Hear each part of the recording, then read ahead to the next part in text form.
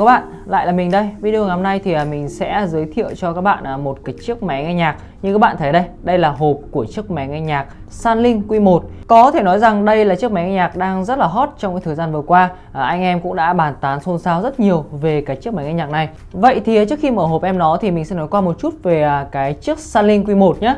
Thì chiếc máy nghe nhạc này nó sẽ là hậu duệ trực tiếp của cái chiếc là Sunlink M0. À, về chiếc Sunlink M0 thì trước đây mình cũng đã có rất nhiều video nói về chiếc máy nghe nhạc này phải không? Chúng ta sẽ có một cái chiếc máy nghe nhạc rất là nhỏ gọn. Vậy thì không biết là với người đàn em là Sunlink Q1 này thì không biết là Sunlink sẽ mang tới cho chúng ta những cải tiến gì? À, không biết là nó có gì hay ho nó có thay đổi gì về thiết kế không? Thì ngày hôm nay các bạn cùng mình mở hộp em nó nhé.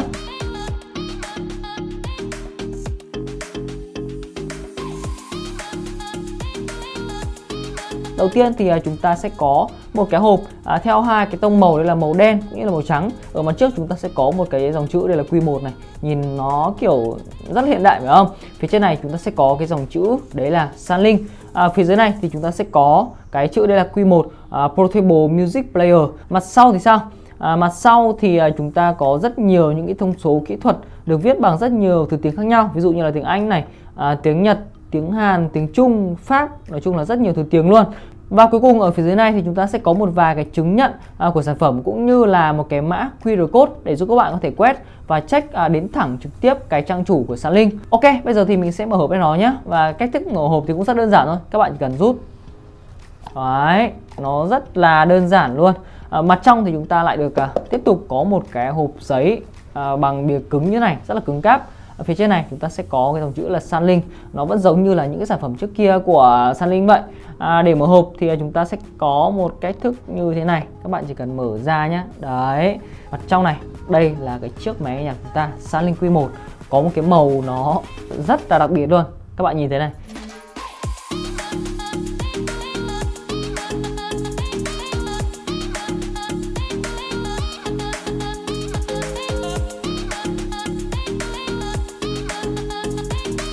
Cái máy nghe nhạc mình đang cầm trên tay đây nó sẽ có cái màu nó sẽ kiểu như là màu xanh xanh ngọc ấy.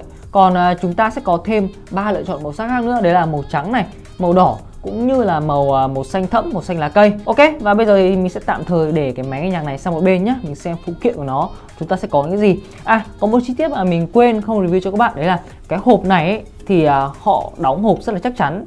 Và chúng ta sẽ được trang bị những cái phần nhung ở mặt trên như này chúng ta sẽ có một cái lớp nhung để tránh cái trường hợp đấy là trong quá trình vận chuyển đấy thì cái bề mặt này nó có thể cà vào cái bề mặt màn hình của máy nghe nhạc.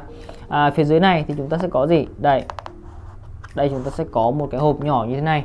Hộp nhỏ này thì mình à, nghĩ là trong này sẽ có cái cáp sạc nó chỉ có cáp sạc mà thôi. Bây giờ mình tháo ra xem nào. Cáp sạc thì chúng ta sẽ có một cái sợi dây cáp sạc tai si được bọc dù các bạn nhé. Và cái sợi dây này rất là dài luôn. Như các bạn thấy đây.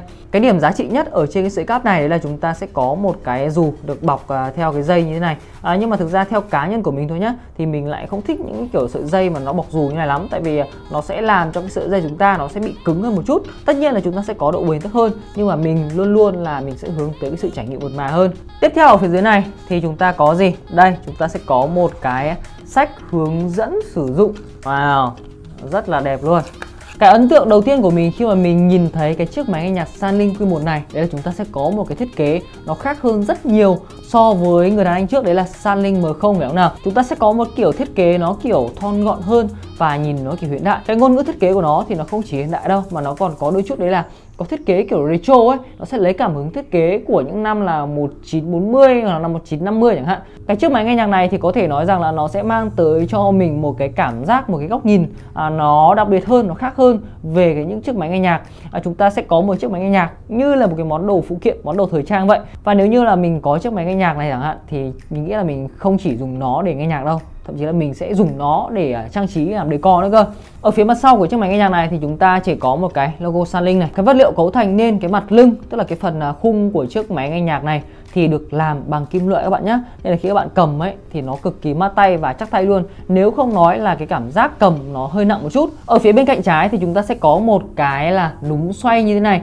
Cái núm xoay đa chức năng này thì à, nó vẫn giống như là trên những cái sản phẩm trước đây đến từ Sunlink thôi. Có thể nói rằng nó là một cái đặc trưng của Sanling vậy. Về những phím bấm này, cả hai bên thì đều được à, phủ bằng những cái lớp kim loại các bạn nhé nên khi các bạn bấm ấy thì à, chúng ta sẽ có một cảm giác nó rất là thích tay, nó kiểu chắc chắn đấy và cái cảm giác bấm, các bạn bấm ấy, thì nó cũng rất là nảy luôn. Theo ở phía cạnh dưới thì chúng ta sẽ có một cái cổng sạc Type-C mới nhất này. Và bên cạnh là chúng ta sẽ có một khe cắm thẻ nhớ. Và khe cắm thẻ nhớ này thì theo như mình tìm hiểu thì nó sẽ hỗ trợ được à, tối đa đấy là 2 TB cơ. Một con số rất là khủng khiếp, phải không nào?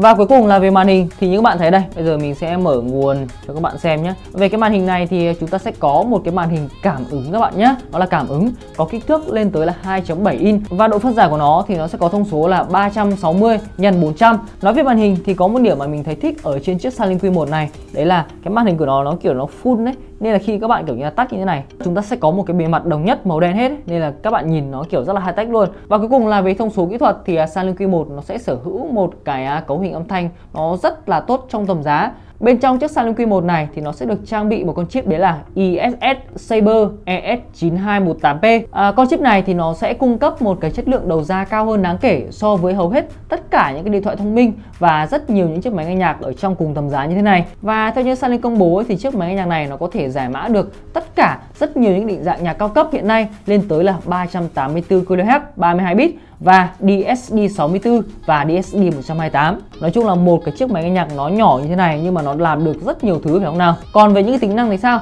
Sunlink Q1 thì nó sẽ chạy trên hệ điều hành đấy là M-Stock của Sunlink Tiếp theo thì Sunlink Q1 sẽ hỗ trợ công nghệ Bluetooth 4.2 tiên tiến. Đây là một cái sản phẩm vừa mới được ra mắt từ Sunlink phải không? Nên là nó gần như hỗ trợ được tất cả những codec âm thanh cao cấp như là aptX này, LDAC, AAC và mình tin rằng em nó sẽ hứa hẹn là mang tới chúng ta một cái cảm giác trải nghiệm âm thanh và không dây nó cực kỳ mượt mà luôn. Ngoài ra thì Starlink Q1 thì cũng được trang bị một cái tính năng rất là hay ho đấy là USB DAC AM. Cái tính năng này thì nó sẽ hoạt động như thế nào? Các bạn chỉ cần kết nối Q1 với bất kỳ một cái máy tính nào, nó sẽ biến thành một cái âm thanh, nó có chất lượng âm thanh rất là tuyệt vời luôn. Cái âm thanh mà Salon Q1 hỗ trợ ấy, thì nó sẽ hỗ trợ cái chuẩn âm thanh ấy là Hi-Res lên tới là 24 bit, 192 kHz. Ngoài ra thì Starlink Q1 cũng có thể xuất được tín hiệu à, digital của cổng USB để sử dụng với những cái bộ rẻ mã khác mà có chất lượng âm thanh nó cao hơn chẳng hạn. Và cuối cùng là về thời lượng pin, à, chúng ta sẽ được trang bị một cái viên pin lên tới là 1100 mAh và với dung lượng pin như vậy thì chúng ta có thể sử dụng cái chiếc máy nhà nhạc này, nghe nhạc liên tục lên tới 21 giờ.